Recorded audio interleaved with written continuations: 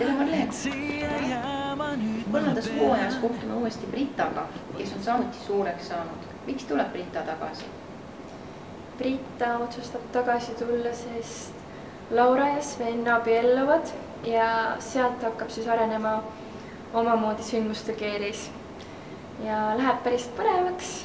kahjuks me rääkida sellest ei saa väga palju. et äh, inimesed peavad ikkagi vaatama. Milline on Brita võrreldes Lauraga? ta on täiesti teistsugune. et kui Laura oli selline korralik, siis Brita on vastand.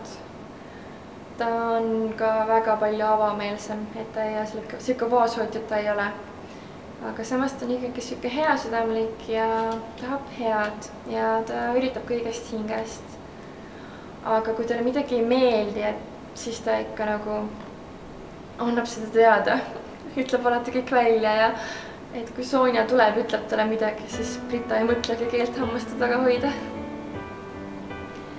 Brita pole näinud Madist päris kaua aega. kuidas on Madis Brita arvates muutunud? Madis on ka Brita arvates nagu väga palju muutunud, et äh, kui ta varem oli ka selline vaoshoitud ja sihuke viks ja viisakas, siis nüüd ta on nagu siukseks hoolimatuks kätte ära läinud, et ta on nagu kibestunud ja pettunud ja kangekaelne ja sihuke teistsugune, et äh, ta nagu, ta nagu ei pane teisi tähele, sest tal on Laura on ainult peas kinni ja kolmandas hooajas ta kindlasti üllatab kõiki oma tegudega, et äh, võib näha purjus Madist. ja mis siis veel?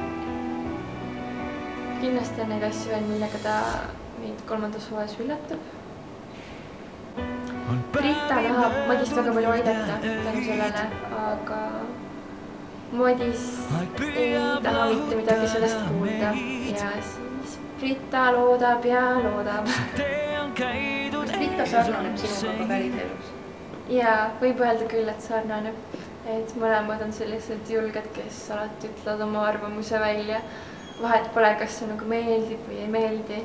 aga samas siiski südames on siiski mõlemad head, et ikka hoolivad neist, kes on neile kallid ja ainuke vahe on see, et äh, Brital on siis sarjas pruunid silmad ja minul on päriselus sinised silmad. aitäh